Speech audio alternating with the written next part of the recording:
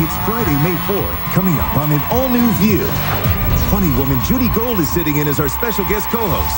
Plus, The Sopranos' Edie Falco's telling the ladies how she's handling saying goodbye to Tony for good. Then, Civic Duty star Peter Krause is revealing how he got his start on one of TV's most classic and beloved shows. And find out about the latest breakthrough procedures that'll take 10 years off your face in just 10 minutes. All that, hot topics, and more coming up on season 10 of The View.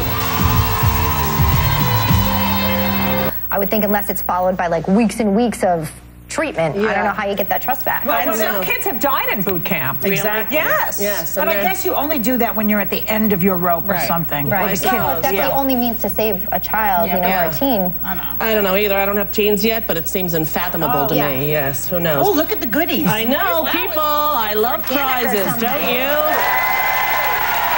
Everyone in our studio audience today is getting a $500 gift certificate worth of Rachel Perry skincare and makeup products. The only and the best of all natural ingredients. $500. Can you believe it? I can. $500. Wait, that's such a good giveaway, but I know a really good giveaway. What? 25 questions